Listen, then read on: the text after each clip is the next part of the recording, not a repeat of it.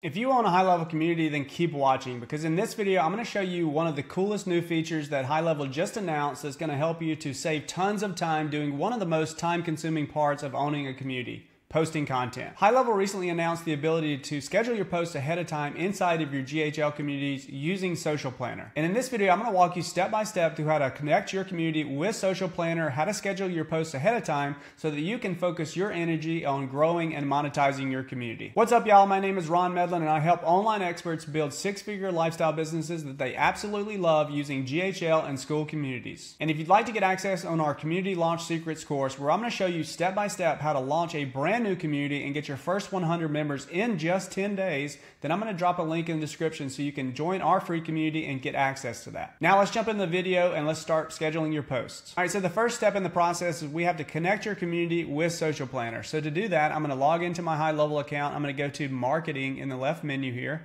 and then I'm going to click on Social Planner. Once we're inside the Social Planner, I'm going to click on the gear here to go to settings, and then I'm going to click on Connect Social. That's going to pop up this window and we're going to click on connect community. And then I'm going to select the community that I want to connect to Social Planner. So I'm going to click on add here.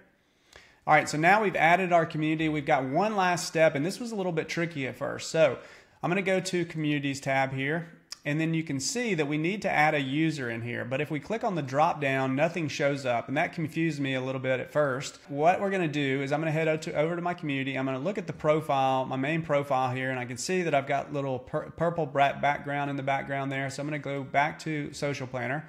I'm gonna come in here and I'm gonna type in my name. So Ron, you have to type in your name to get something to populate here. And then I'm gonna select that profile that I just looked at now we actually have a user assigned to that community so that when we post, it's coming from that user.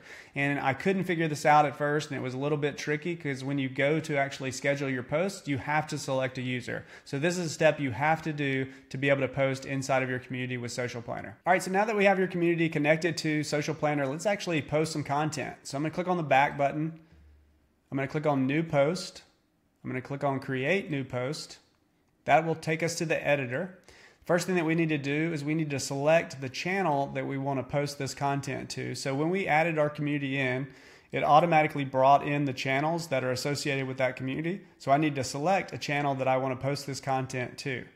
So once I've done that, the rest of the editor will show up and then we can actually add in our content. So I'm going to grab my post from a document I have over on my other screen. I'm going to click into the content editor here, and then I'm going to add some spacing. Now, there is a little bit of a bug with Social Planner and posting inside your community. So when you create a post in Social Planner and post it inside the community, which I'll show you in just a second, it does not format it right currently. So hopefully they are working on that bug and hopefully they'll fix it soon. So next thing I want to do once I have my copy in there is I need to, and you can use AI to help you to create this. You just click on that button and prompt it towards the content that you want it to help you create, and it will help you to create that post. Now, once we've actually got our copy in there, we need to add our creative. So we can select an image or we can select a video. I'm going to select a video here.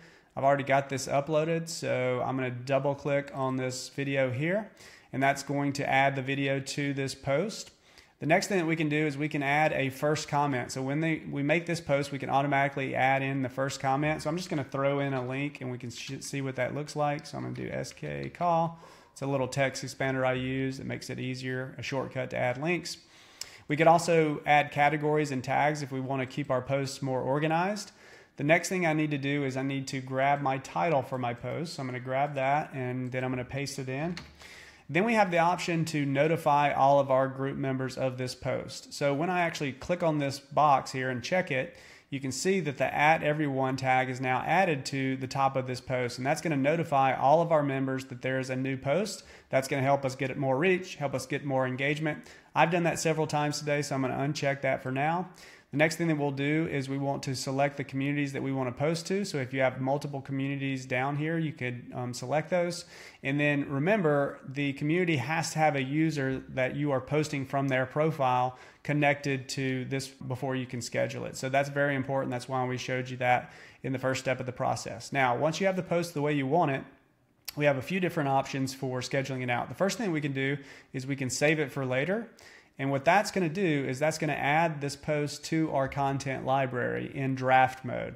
And then this is a great option if you want to bulk create all of your posts ahead of time and then come in and schedule them after you've got them all created and in draft mode. So to do that, I would click on the three dots here. I would click on edit that's going to take us back to the editor, and then we can show you our other options for posting this content. So if I click this button here, the post drop down, we've got a couple of different options here. We've got post now, which I'll do shortly. We can do schedule posts. So if I click on that, that's going to open up this window and I can select the day that I want to post this content and then I can select the time. So this is going to be 10:30 a.m. on Wednesday. And this is going to be in the time zone of your GHL account. So whatever your company time zone is set to, that's going to be the default time zone that you're going to be scheduling these posts in. Once you have your day and your time selected, you can click schedule post and it's going to schedule that out at that time. Let's click this post again and let's call, let's look at schedule or send post for approval. So if you're working with a team or if you're working with a client, you might need to send these posts to get them approved before you can actually post them. So what I can do is I can select the day, let's say Wednesday at 10:30 again, that I'm going to send this to the person that needs to approve this content before it can go out. So I'm going to select the person that I need to send that to. I can add a note um, for them to refer to. And then once I get that set up the way that I want it, I can click schedule and send for approval, and it's going to send that person this post at that time for approval. And then the last thing that we can do is we can actually schedule this as a recurring post. So let's say that you have a coaching call each week, Wednesday at 11:30. So what I would do is I would repeat this every week at on Wednesday and I need to select the date range. So the start day is going to be today, and let's just say the end day is going to be several years from now because we want to do this every week for a long period of time. So I need to select the actual start day and the end day, and once I have those selected, I can click confirm. And now we've got our start date, our end date, and then you select the post time, and then you schedule that post. So now let's say we had a coaching call at 11:30 every Wednesday. This is going to post this post at 10:30 every Wednesday, an hour before, to give our people time to check out that post and then join the call. So they can click schedule post. And then if we click the post again, we can delete this post also. But let's go ahead and click on post now.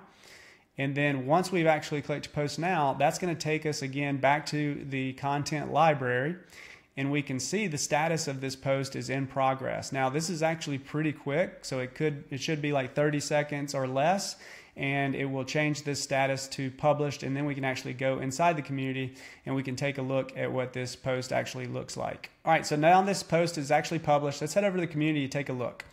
All right, so I'm going to refresh my page now.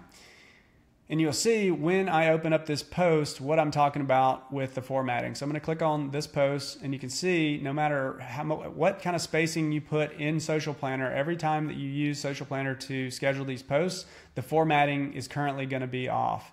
So hopefully they're fixing that and it won't be an issue here soon. But what we can do now is we can come in here and we can edit the post and we can add some spacing. It'll look a little bit better, but the formatting is still just not right. So I'm going to go ahead and add a little bit of spacing here.